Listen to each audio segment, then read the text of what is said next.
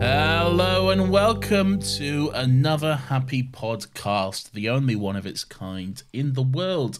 My name is Nathan. I'm joined by Lawrence, uh, aka Lynx, and uh, my actual name is Lightning. So just forget what I said there. Um, and yes, we're about to jack off and jack in to the. the Is this going to be a carryover? Will this end when May is over? I told you it's our catchphrase for the Matrix, and because that's what we're doing, Lawrence. We're doing the Matrix. Hello. Hello.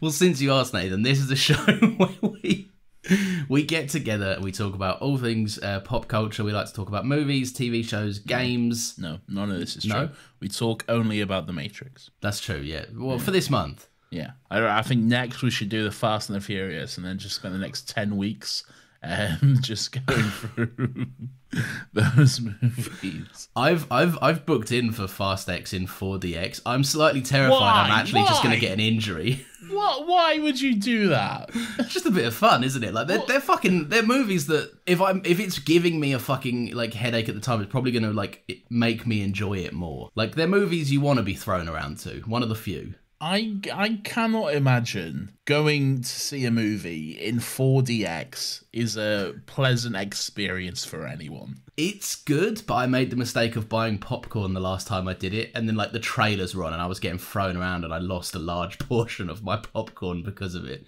So that that was frustrating. That puts me. I'm here. I'm here to watch a movie, not ride a fucking roller coaster. Like Yeah, but some movies are like roller, like Fast and Furious. That's a that is a roller coaster movie. I don't want to watch it on a roller coaster though.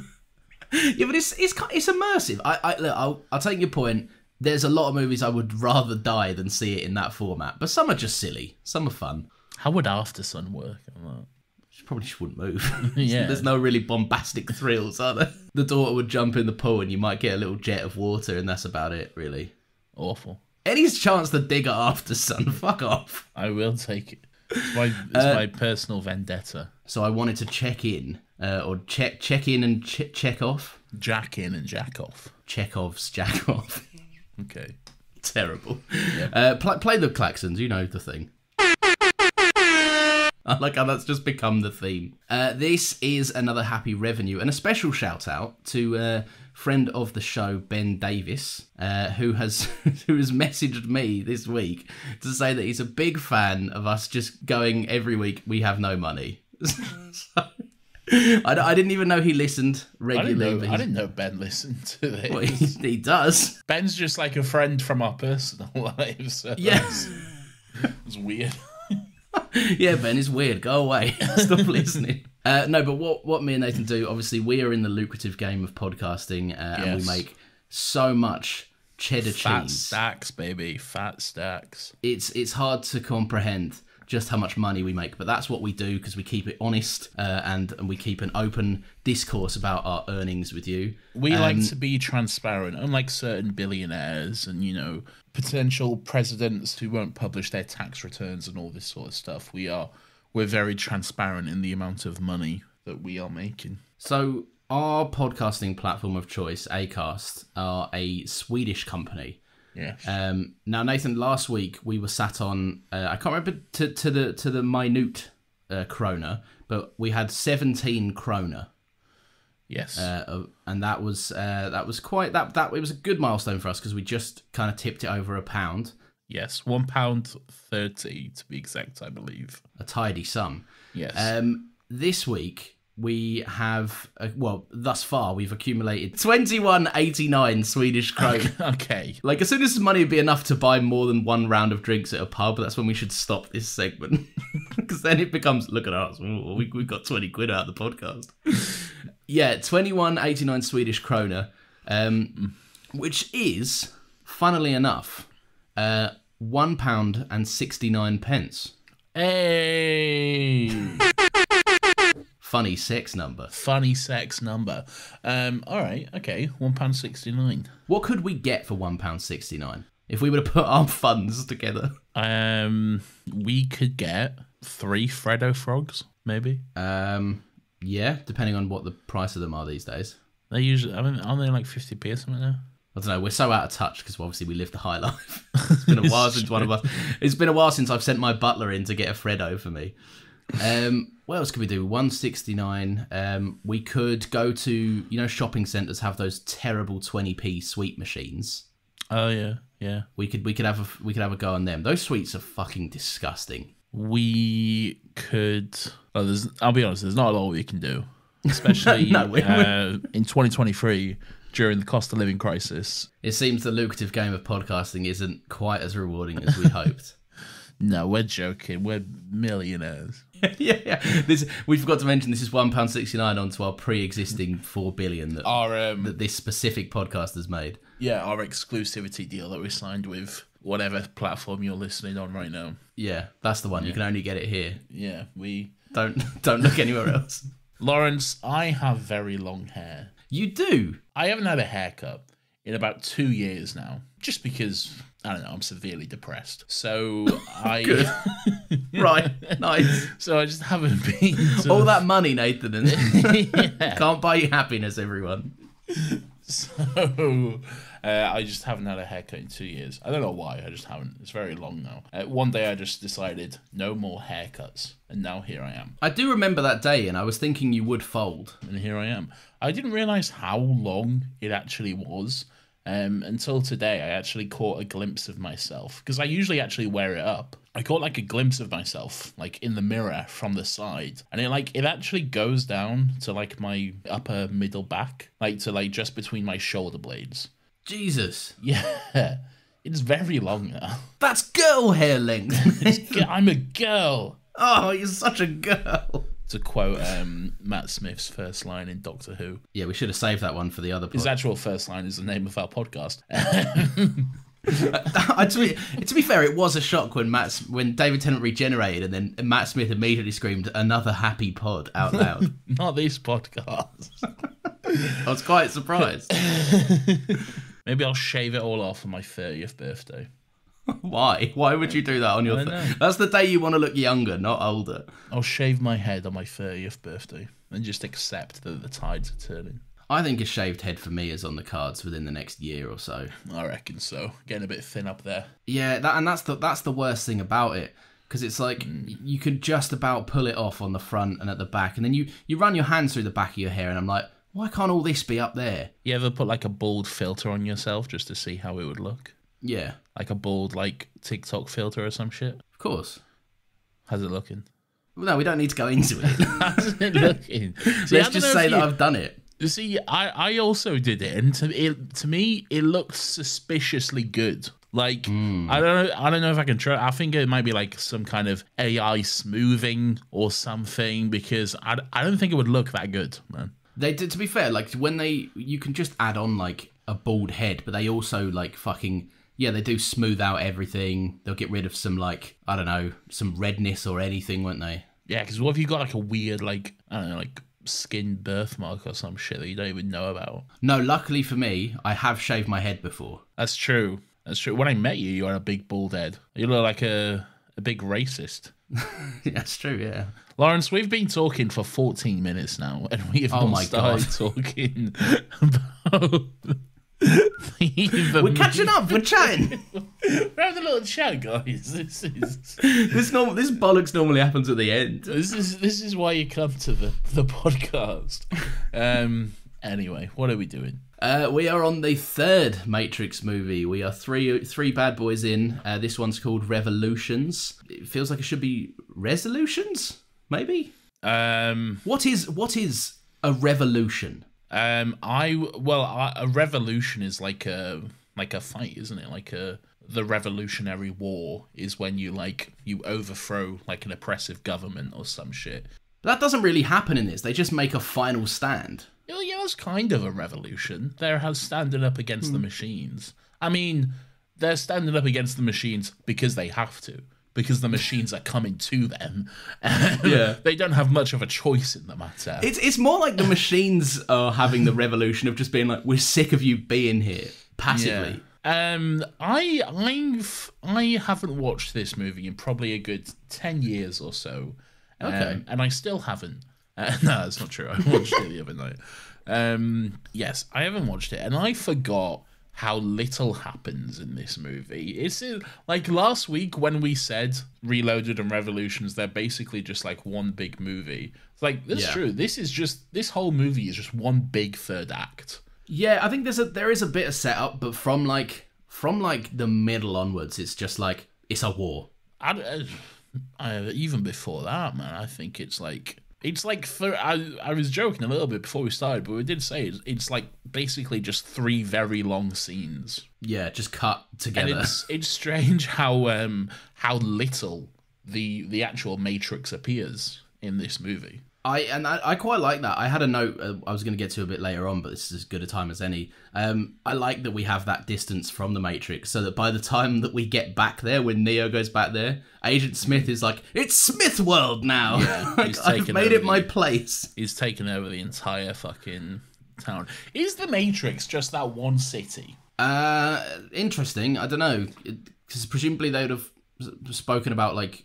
You know, they all work like boring office jobs. Presumably, they'd be like, "Oh, I'd like to get away this year." There's no sun in the Matrix, is there? Have you seen Have you seen anyone say that? No, but like you have to imagine the small talk that would go on in those little offices, in all those little cubicles. Yeah, but we haven't seen it, so as far as I'm concerned, it doesn't exist. True, yeah, because it, it, it- there's not really. I can't imagine it looking anything other than a miserable New York City. It's not. It's Sydney. Is it supposed to be Sydney? No, but it's shot in Sydney. I don't know where this was proven. I remember it, uh, James and Mason saying it in the caravan episode. It's apparently like in the Middle East. That's where the actual Matrix is. No, that's that's where the um, Machine City is, and and Zion. I guess it is just this city. Agent Smith hasn't taken over the entire world. Well, there is, I, I, yeah, I think the Matrix is kind of limited to this like one city, maybe like the outer suburbs, and there's the mountains and stuff because Neo was there in the last one. That highway, they're going somewhere. Yeah, but you look in the background and it's just more city that they're going. Maybe they're all going in a long loop.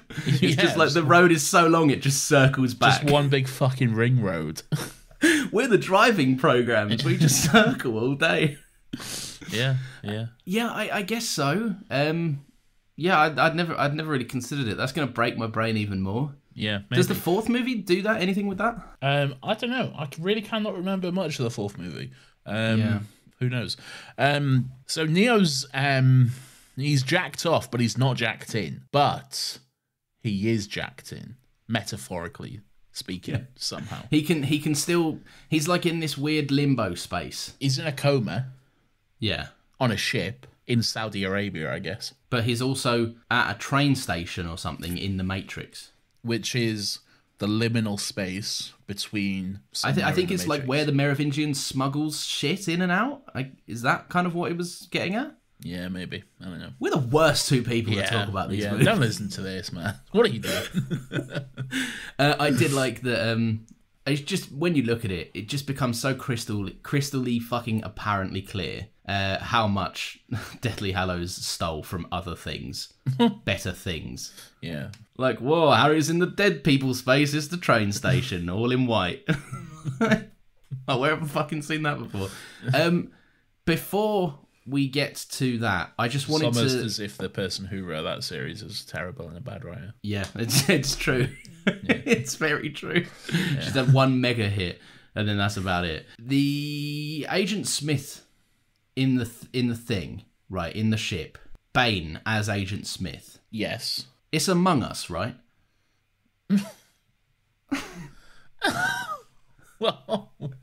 He's running around. He's infiltrating a ship of survivors, and he's trying to pick them off one by one. A- and he's pretending to be one of them. That's Among Us. uh, That's Among. You know, you just annoyed you didn't think of it. That's Among Us, and you know no, it. no. And well, I see what you're saying, and yes, that premise, yes, that is Among Us.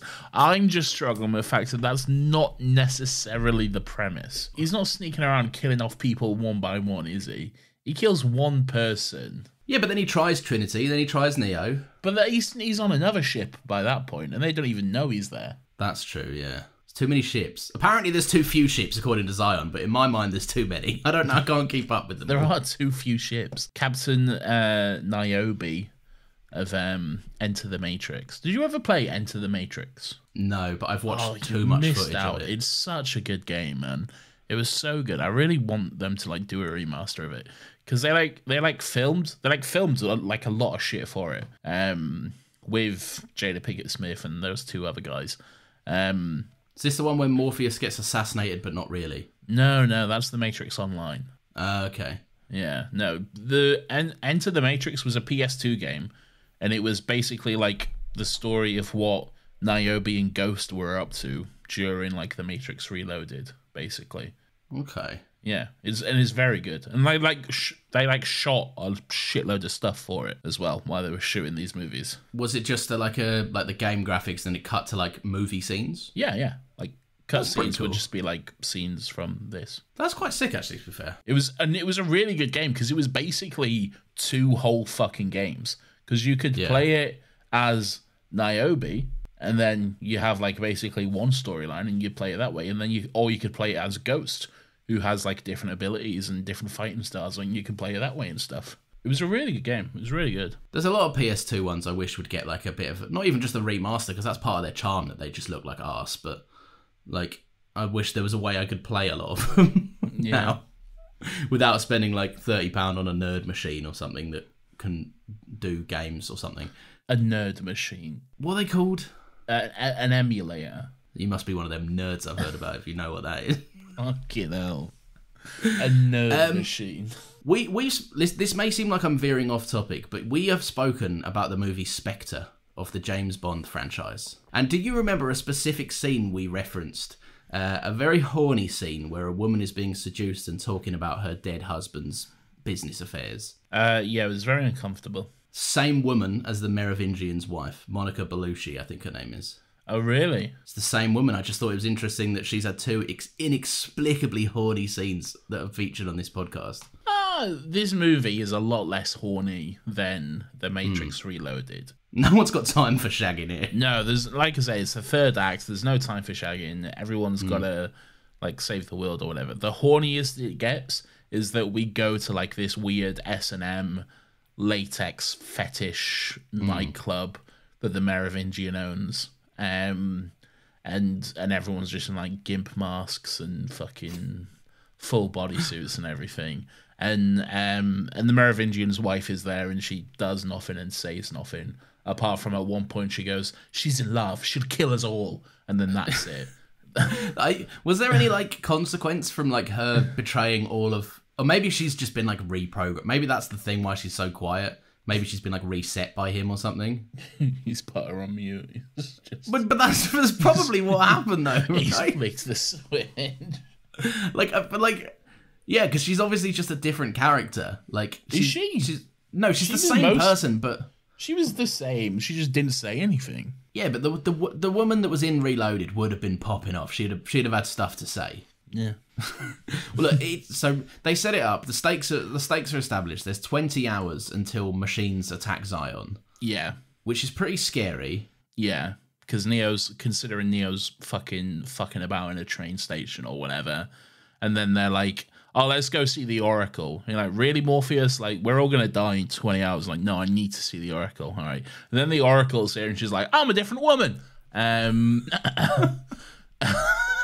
Tragically so because the previous one passed away. But yeah, oh, is that why? yeah, they, I was gonna ask, like, what, what's going on there? Um, yeah. The, the first the first actress uh, who was really really good. She uh, she died, and um, I think this one's equally as great though. I think she's she brings like a more of a somberness to it, but she's still very good. she's um. I feel like this one's a bigger actress because I recognize this one from somewhere, but she's definitely been in other stuff. So I'm, let's let's start with the train station. Twenty seven minutes into the podcast. Um, Yeah. So wh- what what do you think about the little the little conversation Neo has with the program and his family? And he's like, "Look, man, I don't, I don't know where you are, but I love love, and I fucking I love my daughter. I love my wife. Um, I don't know how programs have daughters and wives, but hey, it's, it's what I do, and I love it. Yeah, I, I'll be honest. th- Everything with the child, I'm not. I've seen this movie twice, and I'm still not certain I get it. Okay. because I I I think maybe the next film will give me some answers because I know that.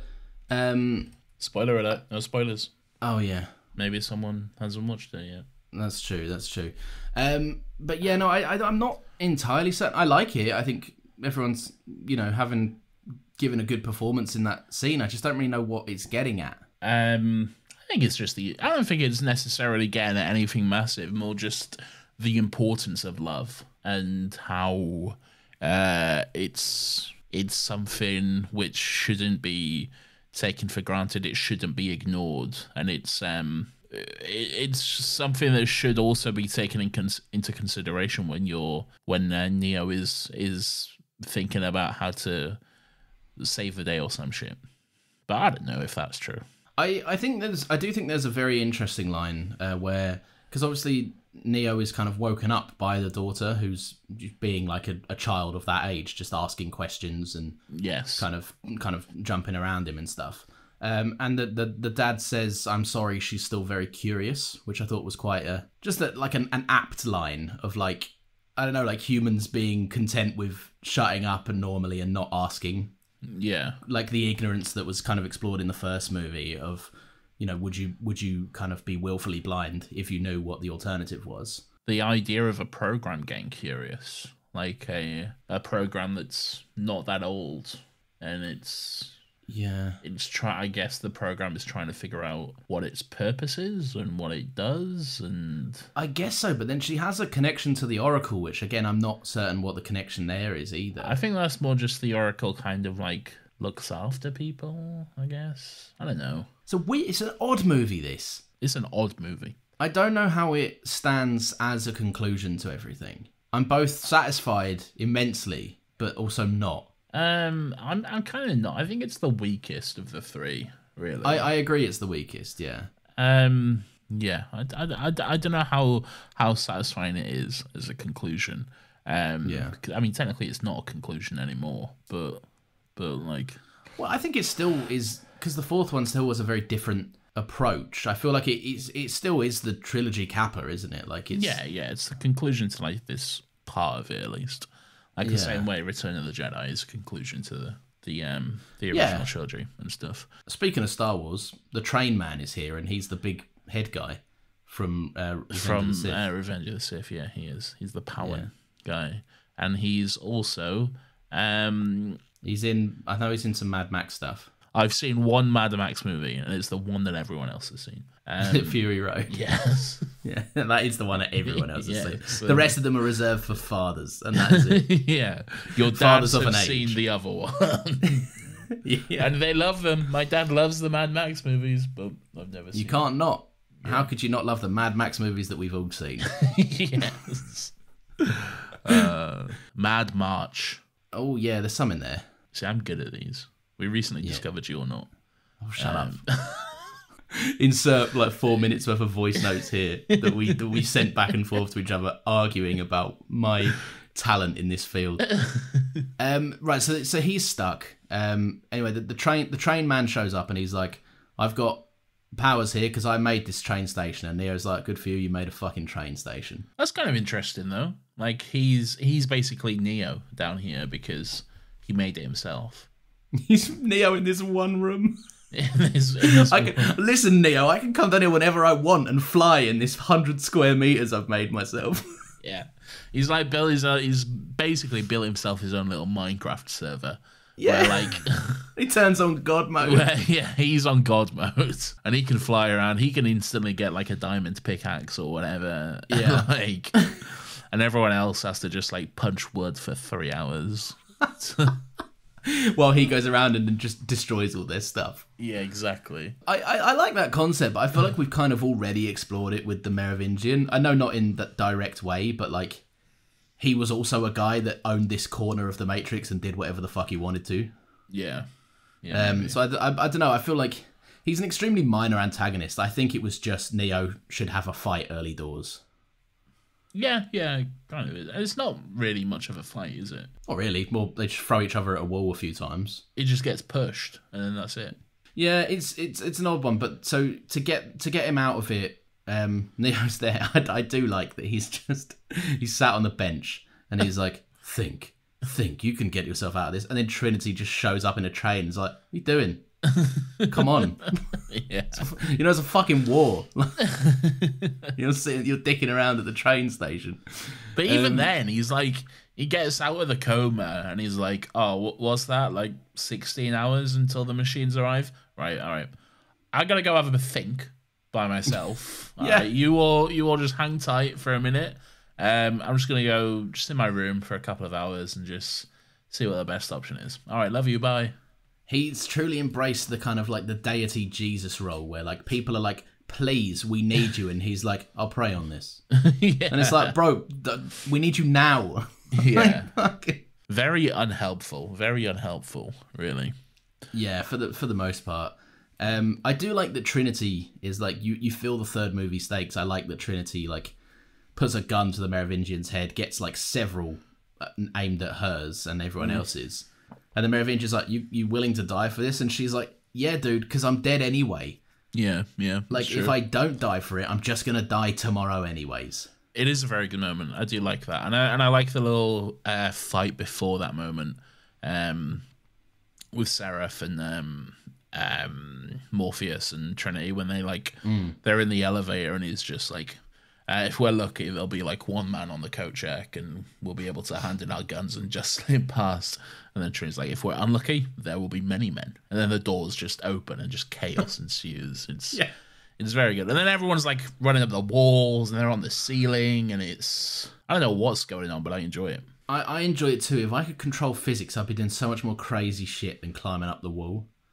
I do like that there are two guards Yeah. that also like they immediately start getting like bu- bullets riddled their way by like all three of them, and then they're like quickly to cover, but they run up the wall and then go behind the wall, and I'm like, the wall is still next to you on the ground. Just step to the step to the right, and you'll be good. Yeah. like. I do feel like sometimes they're like, we're in the Matrix, so if we're running, we've got to run fucking cool. Like, we got Yeah. to run in a cool way. Well, they do. They're gonna be cool. I, I can't remember if I'm, I'm doing a lot of like speculating to the fourth one again, but I can't remember if they keep the vibe of the Matrix the same because I know it's a lot more As glossy like- and shinier. As in like the sort of like '90s aesthetic and stuff. Yeah, like the '90s. I don't think they do. No, I think the.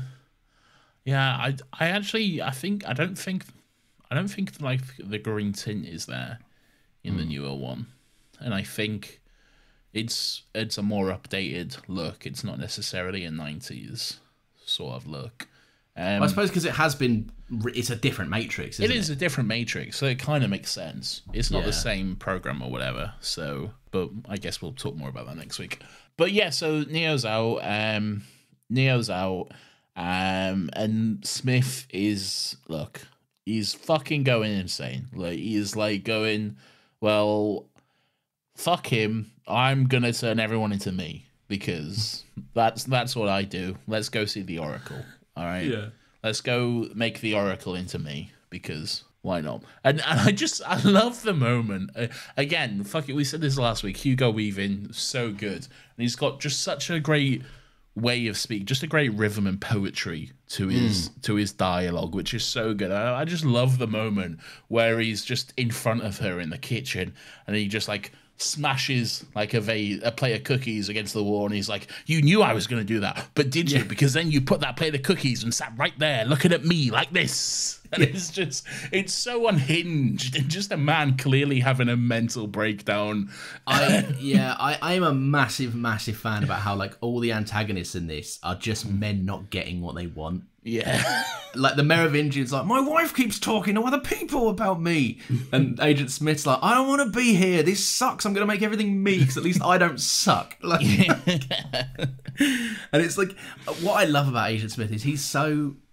he's so fucking like it's so funny because like the evolution of like what he becomes. He's the embodiment of like I don't like this place, but I'm, I like I'm and I'm gonna change it to make it more what I want. But he's just mm. like he's trying to solve the problem of the Matrix by just inadvertently making such a bigger problem out of the Matrix. yeah he's Like at least before Neo could land and then just walk about the city. yeah Whereas now he lands and there's just twenty Agent Smiths like, You're right, man. We know we know why you're here. yeah um yeah, just a very, very he, you're right, he is unhinged. And and the I wrote down the actor's name because he's also unhinged in the real world now, in Zion. yeah he's bane he's got like different consciousnesses i guess I think he has to have had a because like he was having a twenty thousand of him were having a fight with Neo last week. So yeah but yeah it's true yeah Yeah, I guess I think it's like the agent thing. They can kind of just the main Agent Smith can just jump into any of the autopilot Agent Smiths Yeah. when they need to. But yeah, I get because the Bane one is. I think maybe real Agent Smith is in Zion doing his thing, and mm. he's just put the rest of them on like door canvassing duty. Like you knock on someone's Yeah. door, they answer it, and he's just like, "You're me now," Yeah. Yeah. Maybe. because they've got shit to like the amount of them later on. That, I, I guess it, I don't think it necessarily matters like which one the original is because they're all like they're all him really. There's no like Smith Yeah. Prime really, and like he's the one, he's the main one or whatever. Because even the one Neo fights at the end, like that's the one he turned into the Oracle. well, yeah, and that's the um, yeah. I, I suppose that's true actually. Yeah. So like, so there's no like Smith Prime or whatever. Yeah, yeah. So yeah, they all just kind of function as one, like one goal. But anyway, Bane Bane is Smith, um, and he's so good, man. He's so Yeah. good. He manages to pick up that same like poetry and cadence, just so good. He's he's got like a fucking a way about him. Yeah, if you just shut your eyes, it's Agent Smith. yeah, Like he he's I, I tell you what, he is the argument, and I know we've kind of we I think we land on the same thing of this. He's the argument of why recasting not identical people, but someone that exudes the vibe of someone.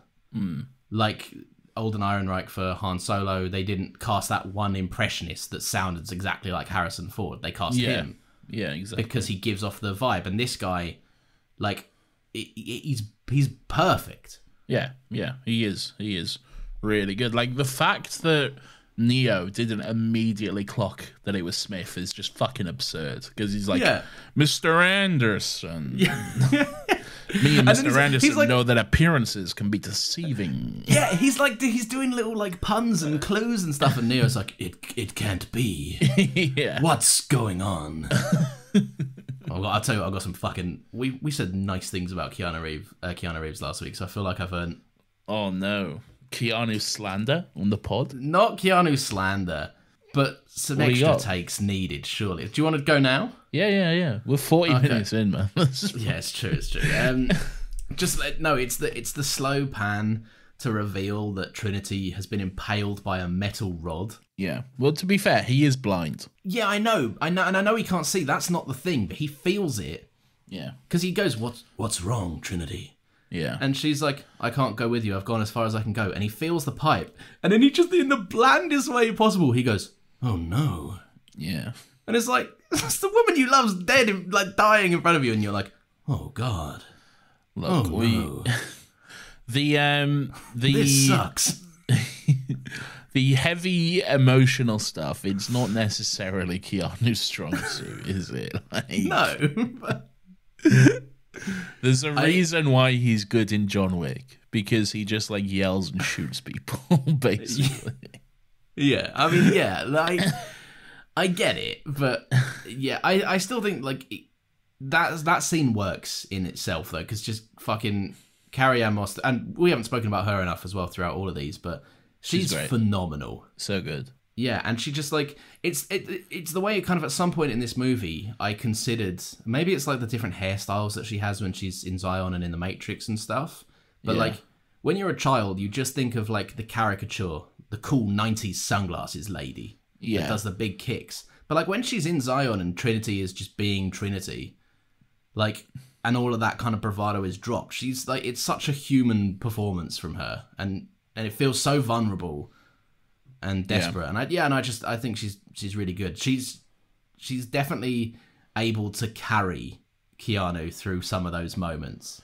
She is really good, which is why like it was I I forgot that she died in this movie. So when she hmm. did die, I was like, oh, I, that's a real fucking bummer actually, because like now we've now we've lost quite a big like emotional crux and and just a really good performer. Really, now Yeah.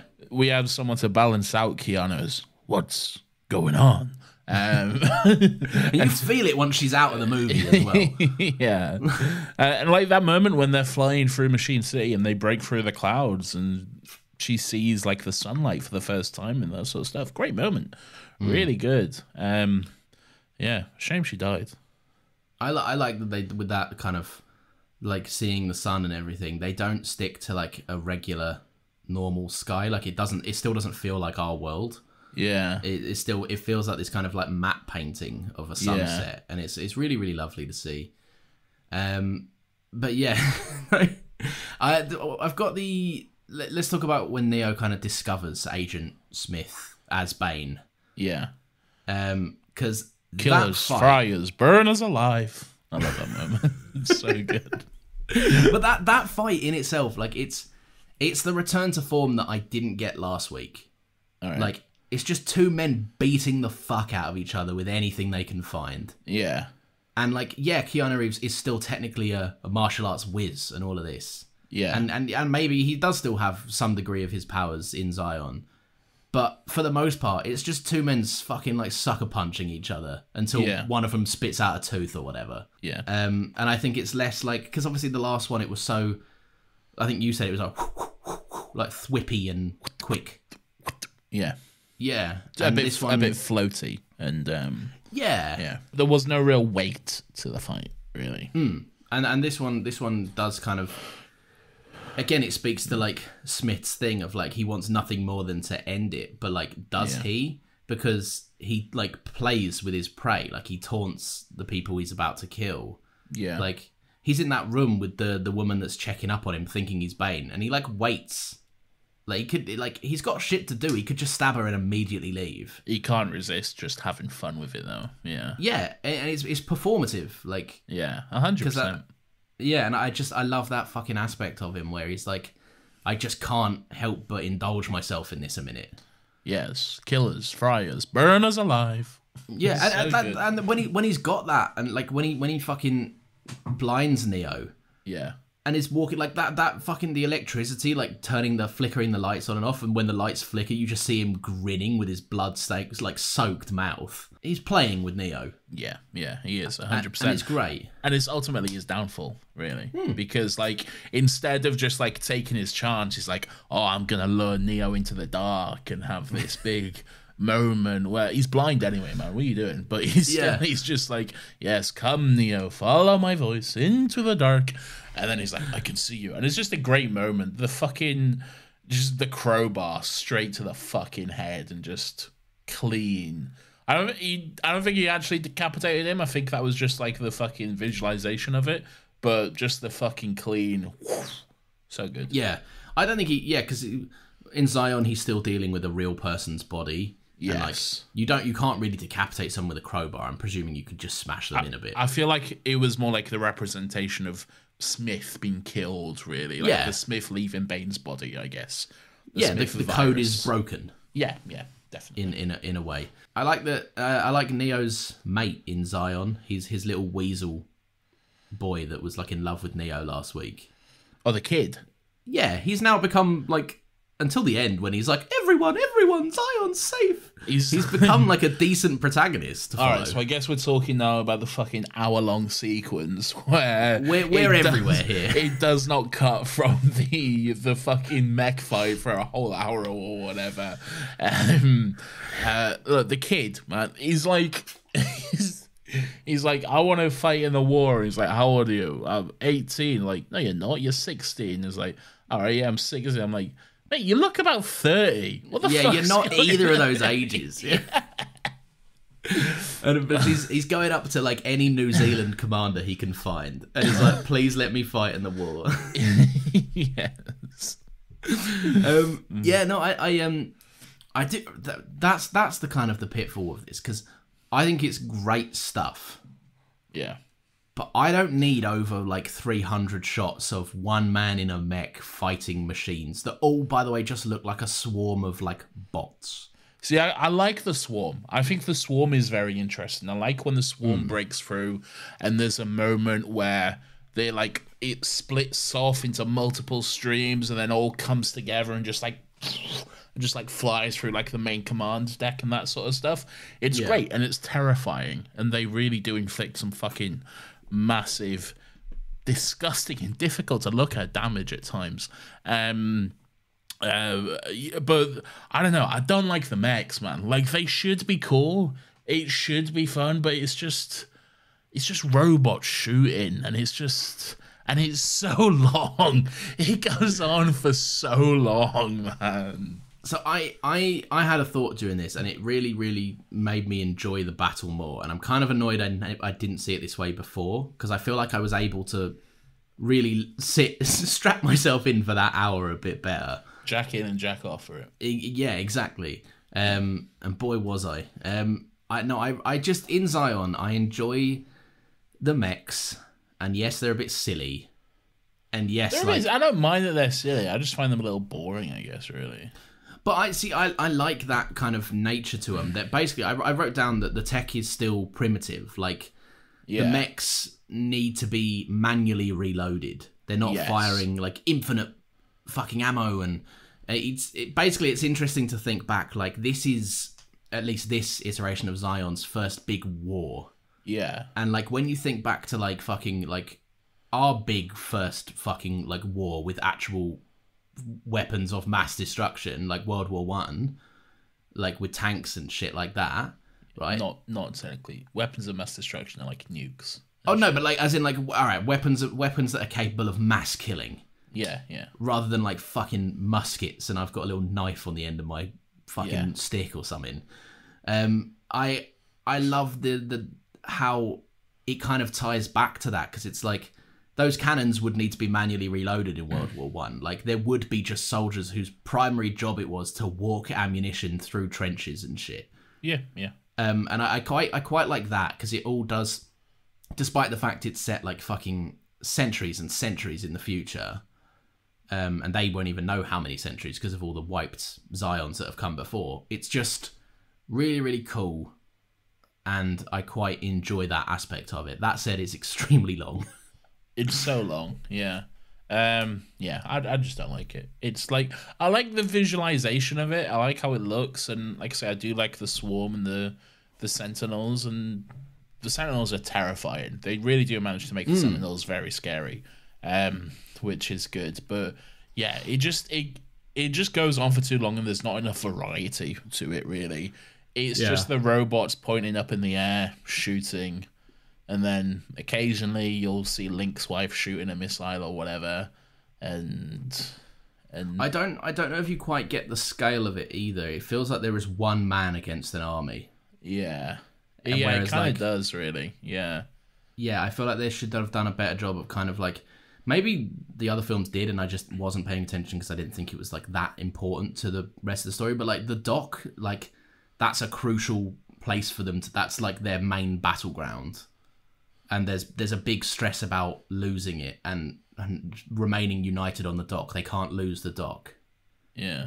but then like it gets lost and it's not a problem, and Well, it's a problem. It's just I suppose it doesn't transpire into a problem. uh, Yeah. it's it's not an ideal situation for them, really.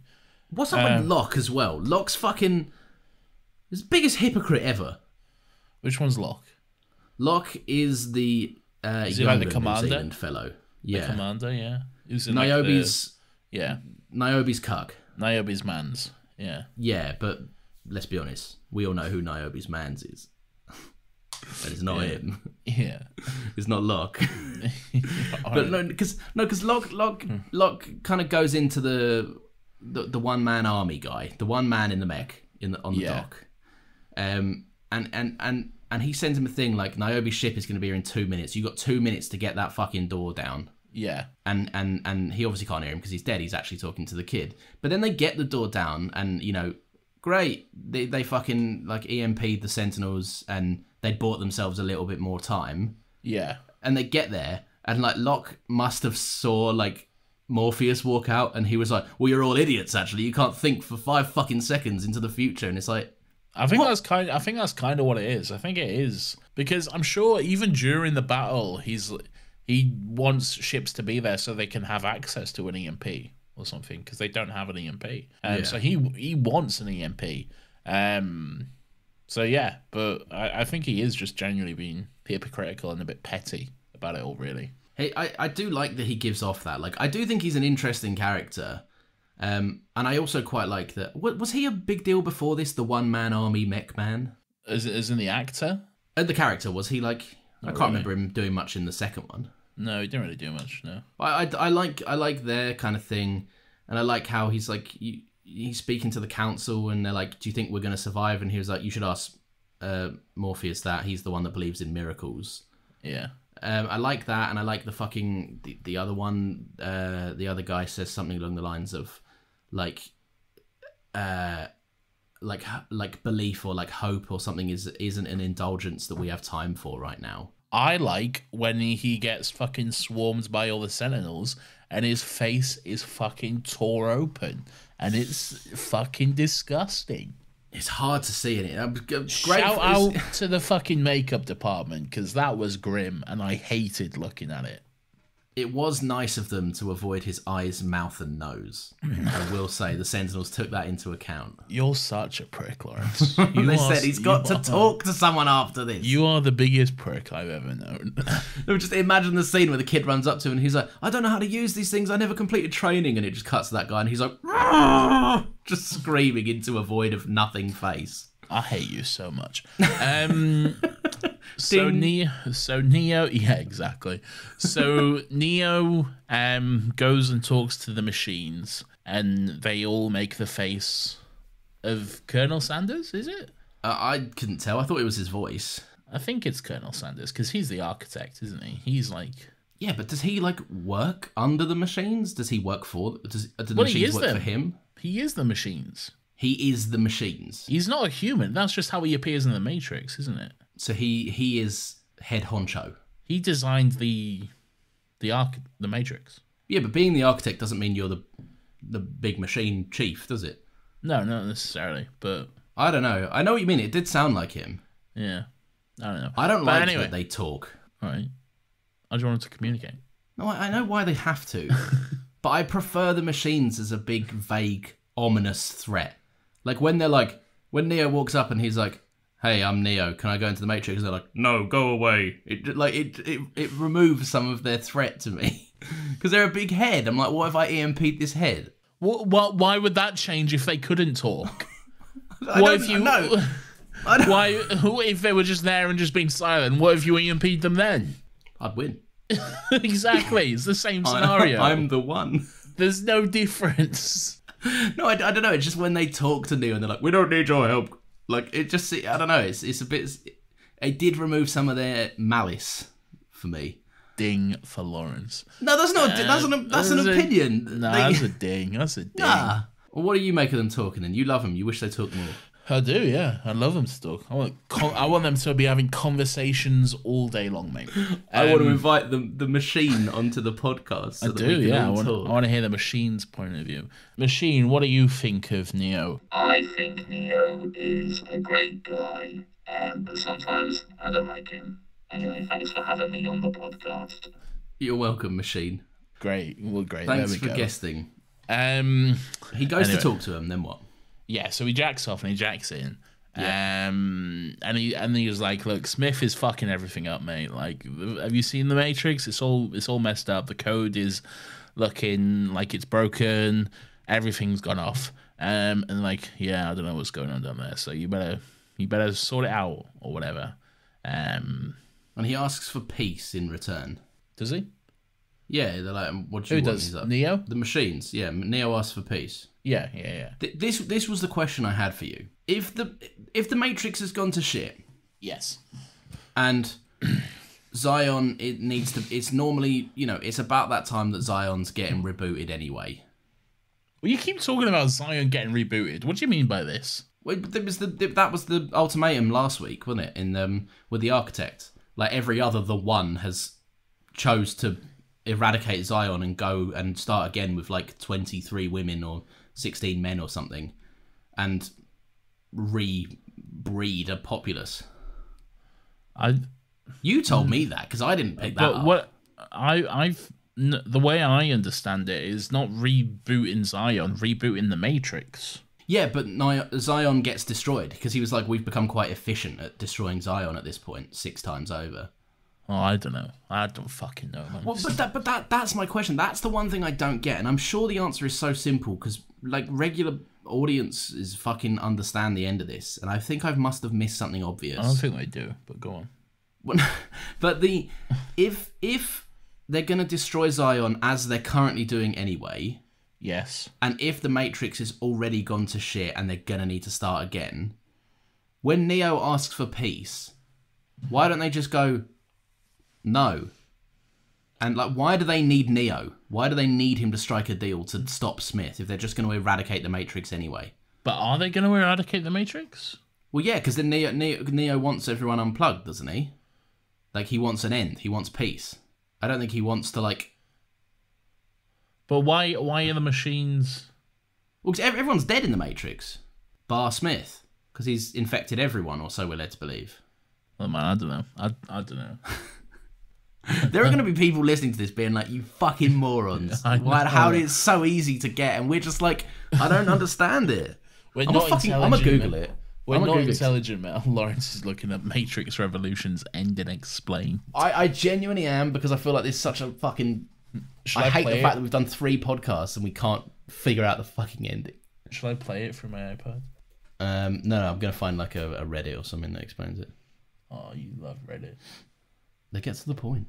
I don't know where this is from, but they say the peace deal would ensure that those who were plugged in would continue to supply the machines with power.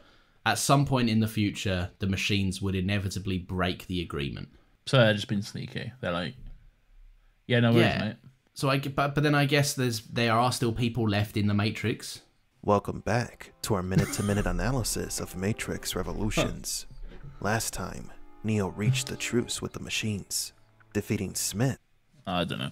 I if I couldn't understand fucking Aftersun, um, then like I y- look, we we need Ben. Should I call him? Yeah, call him. Should I just ring him? He might be working, so I, I don't want to wind him up. Uh, for those of you who don't know, Ben is uh, the main and only editor of the uh, Mr. Sunday Movies YouTube channel. I did, I did see a post this week on the Great Maze that was like, "Hey, you notice how good the editing on this one is? Shout out to Ben, man. Ben's really good. Ben and Ben alone are so good at this. Fucking, fucking piss me off, man. fucking annoys the shit out of me. That does. just fucking irks me. I know like, it does. Not so not to like a serious degree, but it's just one of them things that just every time I see it, I'm like, nah, you fuck, ah, whatever. no answer. Sorry, everyone, we don't know. The fight, the fights. yeah, the fight. Oh, the the big fight. the fight, the uh, the Neo versus Smith. Fucking lovely stuff. You're so right. You're so right. And you know what? I was going into it thinking I was gonna hate the fight. It was just gonna be another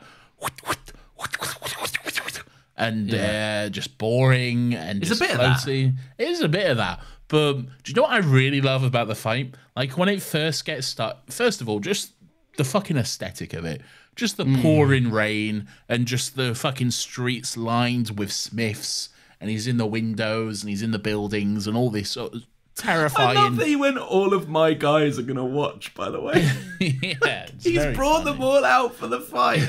Yeah, and they're just gonna watch. Do you reckon they all drew straws about which Smith would have the fight? No, I reckon he knew it was going to be Oracle Smith. I feel like he's like now that he's taken over the Oracle, he's like, this is the main me. This is yeah. Yeah. This is who I am. Um, but but what was I saying? Um, yeah, so it, it looks great. Pouring rain, very cinematic, and very interesting.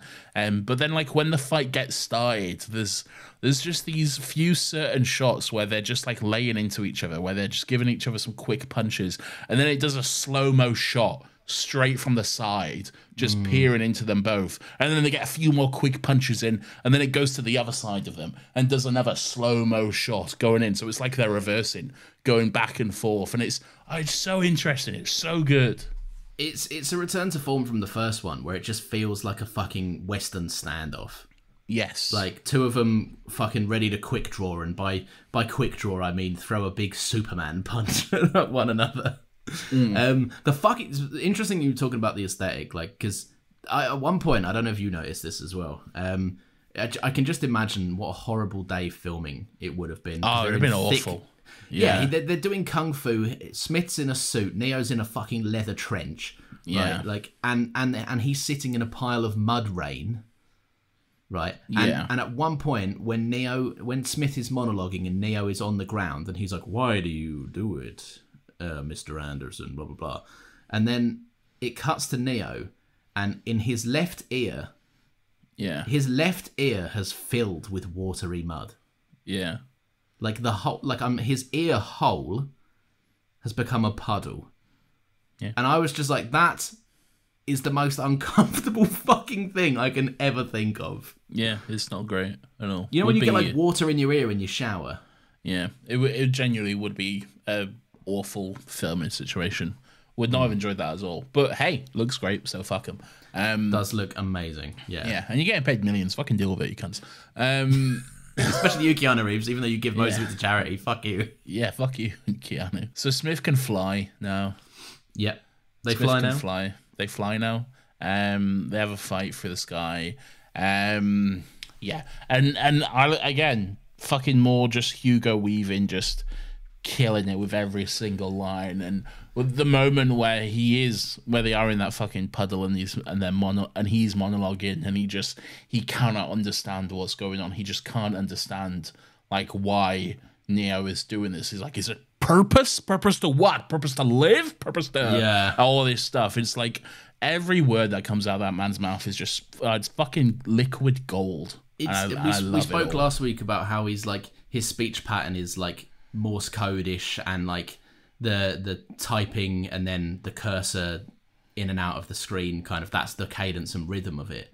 yes. And in this one it feels I don't know, maybe I'm like reading too much into this, but in this one the way he kind of like you say like he he asks a question and then starts to immediately answer it but like strikes off his false attempts. And he's like why do you do it? Is it love? Is it love? Is it love? What is love for? What are you loving? Like like and he just it builds on it. It feels like if you give an ai a prompt Mm. and it and it starts to just run with the concept until it levels out and figures what it wants yeah and I don't know. I just maybe there's something in like the machines evolving kind of thing of it all. But yeah, just just a fucking inspired performance. Like Well, I like I like that it's it's also like the the fact that he overtook and overcome the Oracle. He sees that as a big win for him, but that's like hmm. ultimately his downfall, really, because now he has this power of prophecy or whatever.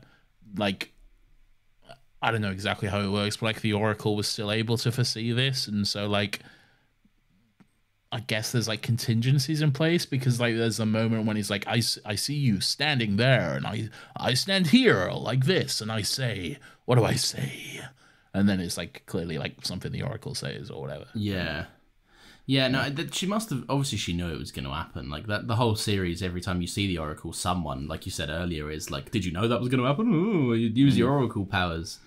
And like in this one, the guy comes and, and he's like Oracle, and he, and she's like finishing up making her cookies or something, and she's like, "Yeah, I know, I know, I'll get there." yeah Like she obviously knows what's about to happen. Um, yeah, it's it is just the hubris. Like, it like it's what, what what's that? What's that? Is it the King Midas thing? Like, flew flying to no, not that's Icarus. Too That's close to the sun. yeah What's the Midas thing? Everything you oh everything you touch turns to gold, but it will destroy you inevitably. I've literally never heard of this King Midas, the everything he touches uh, turns to gold, and he ends up hugging his children, and they turn to gold and die. no is that like uh, the guy who um everything he touches turns to Skittles in those adverts I'd imagine so, yeah. See, I should have gone with the more culturally relevant yeah one. To be I've fair. seen that so Agent We're Smith talking is like about- that guy from the skill. ah okay now that makes sense yeah you know what I'm talking about, yeah? yeah now I got you Every, everyone understands that one. Um, you don't you don't get a more like uh, what I love about villains, and they they they veered. Maybe the Dark Knight had this effect. They veer into like the whole. Uh, not not the Dark Knight. Sorry, I think the James Bond did it a bit, where like they start to have villains that you start to see a backstory, and you start to see a. I can see from their perspective how they've been wronged. a relatable villain Yeah, and a hashtag Killmonger was right.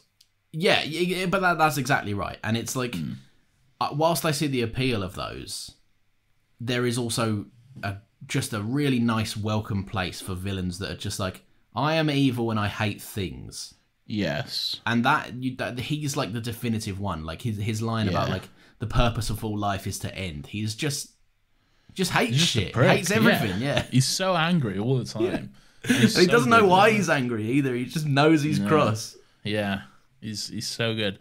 I'm very interested, like, because I I when it comes to the Matrix Four, Matrix Resurrection, I watched it like I've watched it once when it came out, and hmm. I've mostly forgotten about it.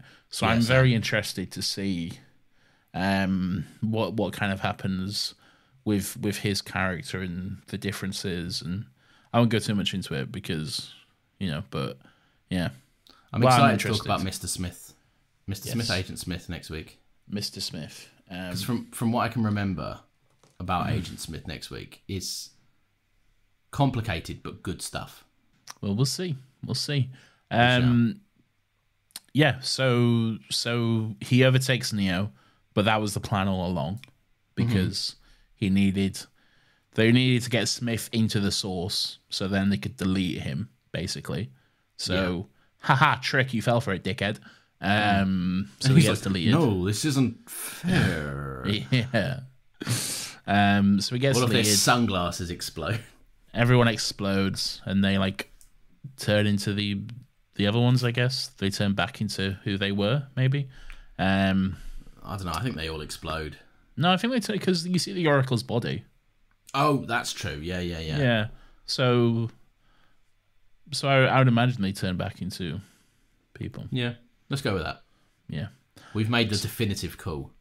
yeah we we solved the matrix um and yeah that's that's pretty much it the war's over everyone's having a big cheer um They put written and Neo on directed a by the thing. wachowskis They, they they put Neo on a thing. i don't what They put him on like a slab that he does. He does his Jesus scene, yeah and, and they lay him. They lay his crucified body down.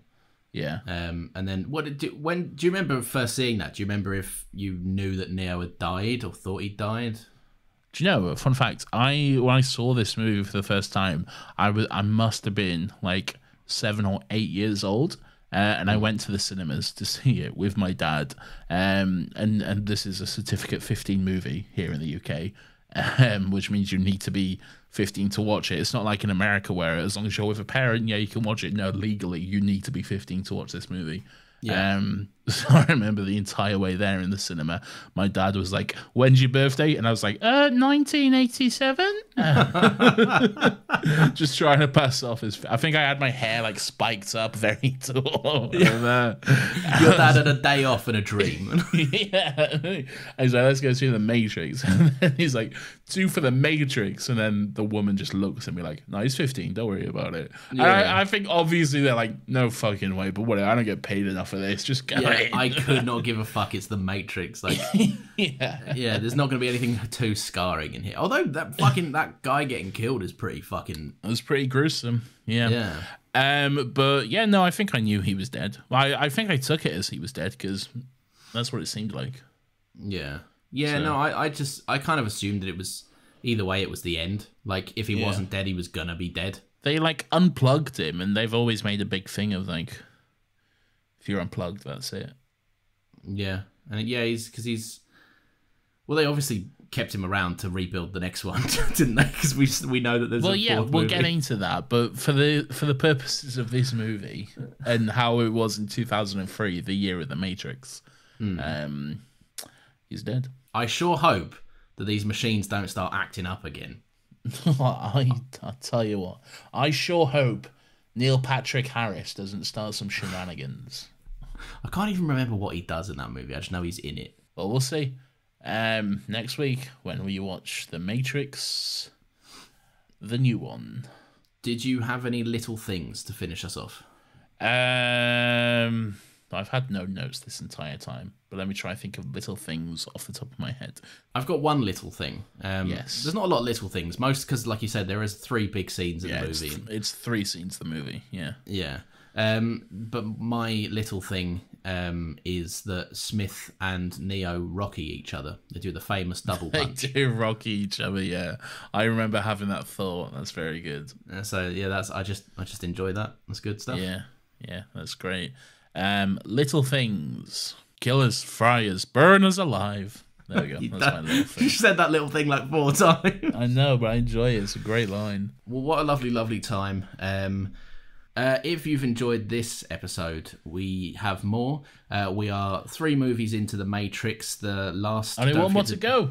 yeah, join us next week on Fridays at 10 a.m. Uh, for our, our finale to the Matrix. Should we get dressed up since it's the last one? Should we get the leather trench coats and the and the Oakley sunglasses and everything? Well, that's going to be easier for you because that is, I know that is in your wardrobe, the leather That is, trench coat. that is my exclusive look. Yes, Yeah, along with all your other trench coats. yes, of which Um, I have many. Yeah, of course, various colours and le- and various leathers. got snake skin, got cowhide. I got them all, man. Uh, I'll, I'll wear some sunglasses if you will. Lawrence will put on some sunglasses. Hey, I, don't don't try me on this. I dressed up as a full fucking cat for Puss in Boots. You did. I don't know why. You didn't tell me though, so I couldn't dress up. You just. You I didn't like, know until five minutes before, and then I was being practiced on. Yeah, give us give our Twitter a little follow. We're at another happy pod on Twitter. Uh, we can we can have a little chat there about the Matrix. Tell us if you understood the ending, and if you did, please try and explain it to us. Because as of right now, we still don't know. Should we Um, do a segment at the end of the podcast where we recommend one fun thing that we enjoy? And it doesn't have to be like a movie, it can be like going for a walk, A sandwich that we tried. a nice pizza sandwich. Remember when I made that pizza sandwich? I do. I do remember that. Yeah. Anyway, that's something to discuss. Not for now. But I like the idea. We'll do it. Let's lock it in. We'll do it not now, but we'll do it. We'll do it starting do- after the Matrix. all right. All right. Well, there There's go. enough There's- little things and everything else going on in the Matrix anyway. Yeah, that's true. That's true. There is enough. Too many moving parts. Uh, Nathan, we have another podcast. I have no idea any information about it though. Could you perhaps share that with me? Well, that worries me a little bit, considering you are the the main co-host. But Lawrence, um, I certainly can. It's called Still Got Legs. It's all about Doctor Who, and we're making our way through the revival era. We're about halfway through uh, the second series at the moment, David Tennant's first series, um, and we're having a good time. So come join us every week. It's a brand new episode where we take a look at the weird and wonderful world uh, that is Doctor Who, and we're having a good, fun time with it. Share it with your Whovian mates Share it with your mum. and your mum. Get a load of your mum. uh, I think I've said everything. Review us. Give us a rating and shit. Um, that. Um, all right, bye everyone. Is that it? Yeah, there's nothing else is there. I've done it all. Is there any fun little banter we can have? Do you, you want to do more, do you? Of this- Of this podcast right now, when we're currently approaching an hour and a half. I do. We did all our fun banter at the start. Is there any fun banter we can have? What a manufactured, natural way of having banter. Well, it's nice to end on some fun banter between us. We've just been having a jovial chat for the last 10 minutes anyway. It's true. It's true. Well, tell us a joke, Lawrence. Why don't you tell everyone a nice little joke? No, I have one, I know one joke and it's fucking terrible. I'll tell you, but I'm bleeping it. Oh, is it like offensive? No, it's not offensive, but I'd rather not have it. I'd rather not have a clean recording of me saying it. No, go on. well, I'm, st- still going to bleep it. No, don't bleep it. Let's end on a joke. I've told, I've already told you. Um, A nice, it- wholesome joke. the what's the best thing about Oh, come on now. It's t- oh no, that's horre- That's horrendous. it's pretty bad. I'll, t- I'll tell By you the what. way, I'll- did you did you bleep out my crimes against Elizabeth Olsen in the the last episode? I cut the whole segment. It was Okay. damning for you. it was damning for you. I'll tell you what, we'll end, we'll end with this fun story. I once upon a time, uh, when I was, I believe, 16 years old, I had an interview for a part time job at Waitrose. Ooh, fancy. Yeah, and I was in a room with a bunch of these boring fucking cunts, and they were all in their they were all sixteen and they were in their suits, right? So I I was wearing smart casual. I was in I think I believe like a pair of smart chinos and a shirt. I think that's I think that's the the best. You don't want to wear a suit to a fucking interview at a shop. Yeah, and you fucking I'm not being funny. Sixteen, Yeah, give off. You look like you're wearing your dad's clothes. yeah. Um. So anyway, I showed up. I thought I looked okay. Everyone else, Yeah. you know, you immediately get the look of like this guy's not getting the job. I'm like, oh shit. Yeah. I had that. Anyway, we got in a circle. We did our like group fucking questionnaire or whatever the fuck it was. You know, like the- Yeah, I hate interviews like that where it's like it's just bollocks. It's like fucking get to know our company values. I'm like, you sell ham. Like, fucking calm down with this bullshit. You sell ham.